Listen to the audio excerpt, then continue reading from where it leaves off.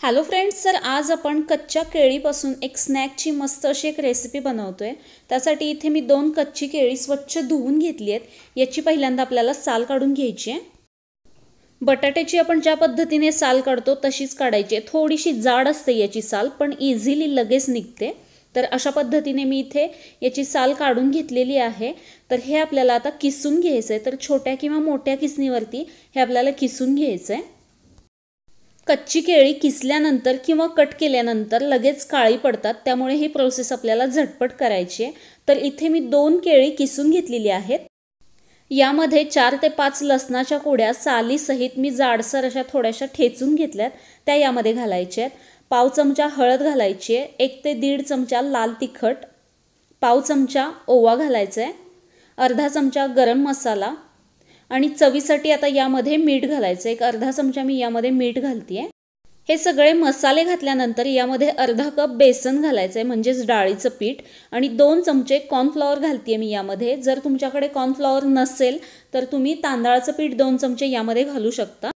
बारीक कट केलेली सात ते आठ कडीपत्त्याची पानं घालायची आहेत यामध्ये आणि बारीक कट केलेली कोथिंबीर घालून हे सगळं आपल्याला व्यवस्थित असं मिक्स करून घ्यायचं आहे तर हे मिक्स करत असताना यामध्ये पाणी अजिबात वापरायचं नाही आहे हे असंच मिक्स करून घ्यायचं आहे आणि हे जर तुम्हाला जास्ती ओलसर वाटलं तर यामध्ये अजून दोन चमचे तुम्ही बेसन आणि दोन चमचे तांदळाचं पीठ किंवा कॉर्नफ्लॉवर यामध्ये घालू शकता.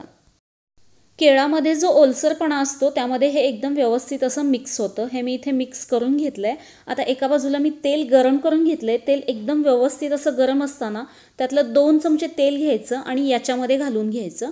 आणि हे सगळं पहिल्यांदा चमच्याने मिक्स करून घ्यायचं आहे तेल गरम असल्यामुळे पटकन हात घालायचा नाही. चमच्याने मिक्स केल्यानंतर नंतर हे आपल्याला हाताने व्यवस्थित सगळं असं मिक्स करून घ्यायचं आहे इथे मी तेल एकदम व्यवस्थित असं गरम करून घेतलं आहे यामध्ये हे सोडून हे छान असं मीडियम टू हाय फ्लेमवरती क्रिस्पी होईपर्यंत फ्राय करून घ्यायचं आहे ज्या पद्धतीने आपण भजी बनवतो अगदी त्याच पद्धतीने हे बनवून घ्यायचं आहे फक्त छोट्या साईजमध्ये बनवायचं आहे याला फ्राय व्हायला जास्त वेळ लागत नाही तर वरून छान असा गोल्डन ब्राऊन कलर येईपर्यंत हे आपल्याला फ्राय करून घ्यायचं आहे हे आता मस्त इथे फ्राय करून झालं आहे हे मी आता काढून घेते आणि याच्यावरती थोडीशी कढीपत्त्याची पानं मी तळून घालते कढीपत्ता आणि थोडीशी मिरची देखील मी मधून कट करून घेतलेत. हे देखील तळून मी याच्यावरती घालणार आहे.